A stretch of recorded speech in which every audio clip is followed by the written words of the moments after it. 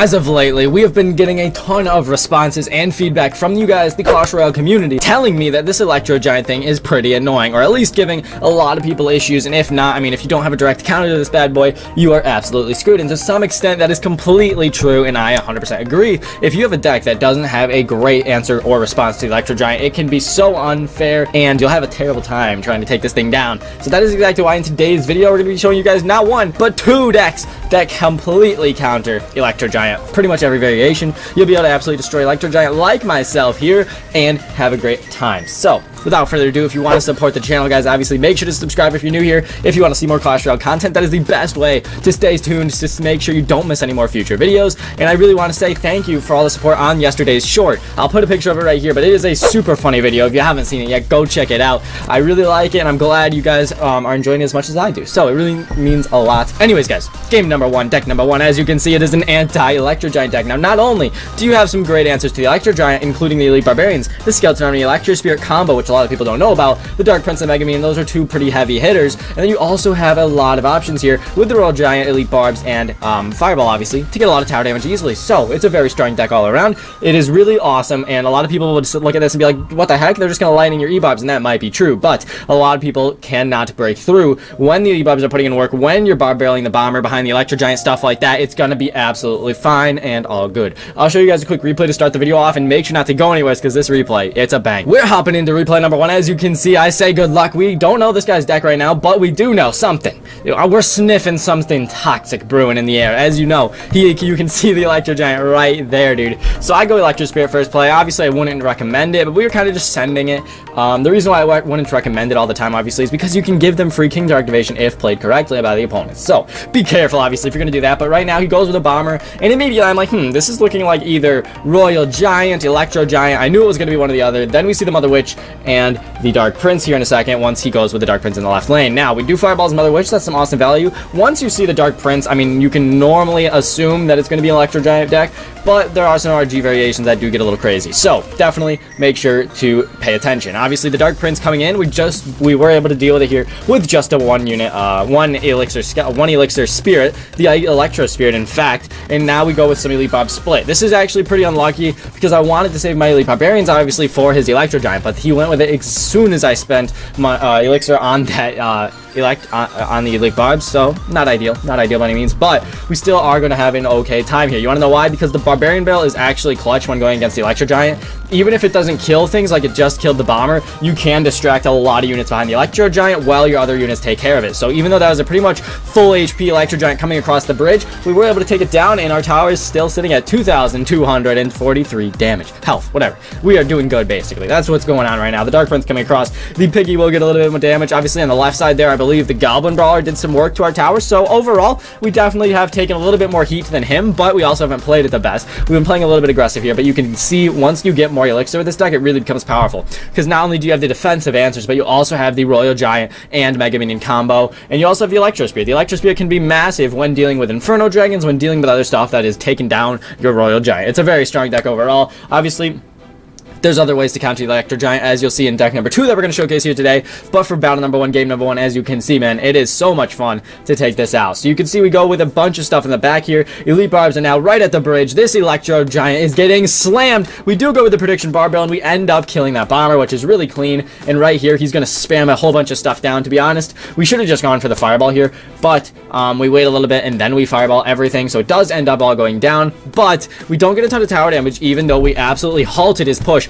It was a really excellent well done defense, but we don't manage to get a ton of that tower damage we're looking for yet. So we got to be patient, right? This is okay. We know we have the answers. We know we have what it takes in order to take this man down. Now, I go with a really aggressive RG Mega Minion here because we knew that he had the Inferno Dragon, but sadly the Inferno Dragon still locks on and we are not able to get any crazy good damage there. This is actually pretty problematic because now we have a Goblin Brawler in the right lane. I don't want to get too much damage off. The Elite Barbs and Electro Giant are all fighting it out on the left lane. We are uh, managing over there, obviously, but we are going to take a couple hits. The Elite Barbs do do get distracted by that Dark Prince, and obviously on their left tower, things are looking a little crazy. He goes with an Electro Giant at the bridge, we go with the Royal Giant at the bridge, and at this point, this is all about just playing and knowing your deck. You have to trust yourself here. We go with a Fireball on the Inferno Dragon. We know if we do not take his tower right now, we are going to take L's on our left tower. So we go all in, the Skeletons with the RG there, taking down the tower, and that is an awesome match there. And honestly, like I said, we did not even play that the best. I mean, the Elite Barbarians certainly should have been used way better and way more with that Electro Giant, but we did get the job done nonetheless. So shout out to that guy. That was an awesome match for game number one. Now, game number one, we just watched the replay, but we're also going to play a live match with this deck, guys. So we got to go and join a tournament. Obviously, we did, we need our um, card levels to be even. Alrighty, we were trying to find games with against an Electro Giant player, but since we could not do that, we got a volunteer from the Discord server. Shout out to this guy right above me, dude.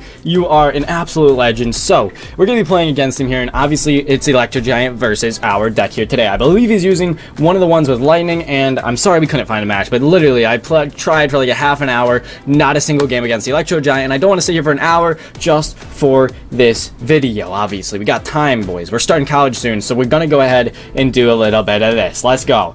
Alright, Goblin Cage does come down. We're going to go ahead and go for a bit of an RG right here. And honest, obviously, we're going to go for the RG to make sure that he can walk left. So then this Inferno Dragon does not destroy us.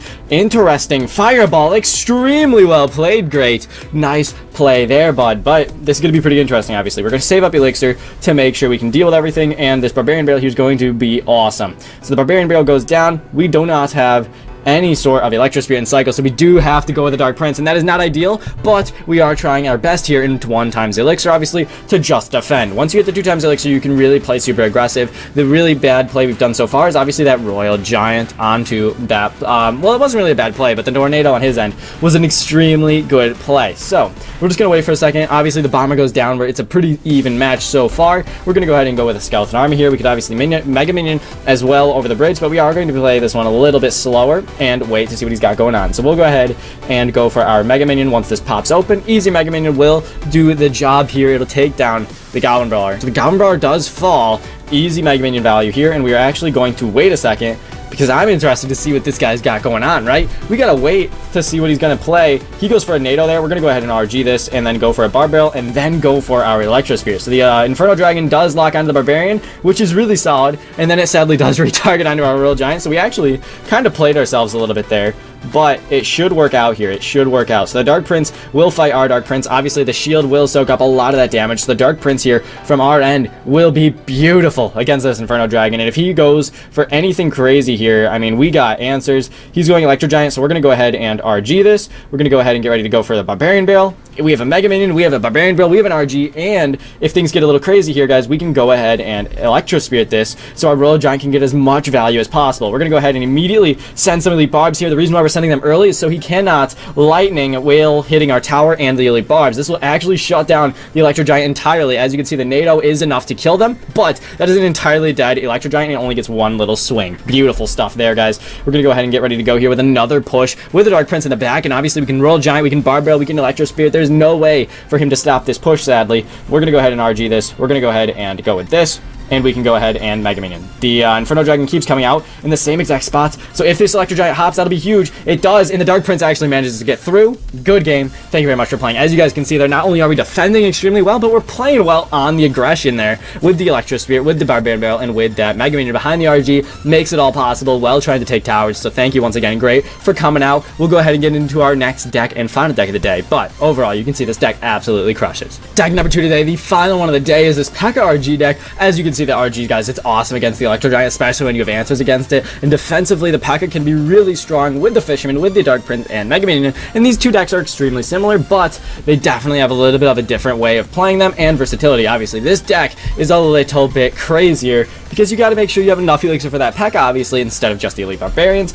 And you have the Fisherman, which adds an entirely new element to this deck. So it's a very fun deck overall in Clash Royale. We're going to have some fun with it today. Once again, great. Awesome having you here today, dude. Thank you once again for helping me out because it's seriously tough finding exactly that deck you want to face because as soon as you, it seems like whenever you are not looking for a deck, you see it every game, but as soon as you start looking, you already know you're never going to be able to find that Electro Giant deck again. So it's funny, But once again, dude, thank you very much for helping out. He's got, once again, the Electro Giant Inferno Dragon version, it looks like. Let's go ahead and Fisherman this year. Fisherman's going to be great. It'll be excellent, actually. And the Fisherman and Mega Minion will be able to take that out for us.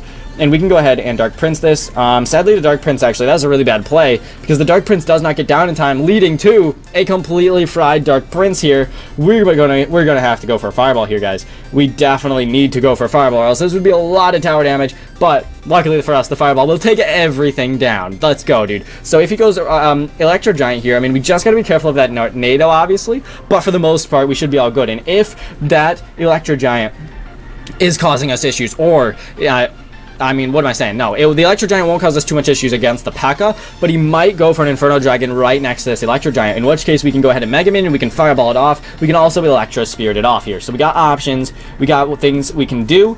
We're going to go ahead and go for a Fisherman here. That's actually a pretty unlucky Fisherman play with that Inferno Dragon there. So the P.E.K.K.A is down, it certainly will get its job and value in. And as you can see, this Electro Giant is defended flawlessly with no damage. That is what we like to see. We can also go ahead and Mega Minion this to try and take out this Inferno Dragon and save as much as our Dark Prince as possible, which it actually looks like we will save a decent amount here. The Mega Minion's over the bridge. We're going to have to go ahead and log this Dark Prince back. We don't want him getting any sort of shots off, so we're playing this one smart. We're playing out erring on the side of caution. And as you can see, guys, once we get our RG down in two times the Elixir, it's going to be an awesome game here ahead of us. So um, now that we're in two times Elixir, obviously, we'll have what, much more Elixir to work with. It'll certainly be an easier time. But we're going to go ahead and P.E.K.K.A. He might actually Nado this into the opposite lane. I would not be surprised. I've seen people do it before. Doesn't look like he's going to go for that, though. The Dark Prince is down. We're simply going to cycle to make sure our, we have our Fireball, Electro Spirit, and Mega Minion to help back us up here. So we're going to go ahead and actually Fireball the Bomber and the Inferno Dragon. That is some awesome value for us. All of this is going to get hit and taken down by the Nado, but the P.E.K.K.A. is going to be awesome, guys. And even if that were to sneak by the P.E.K.K.A.,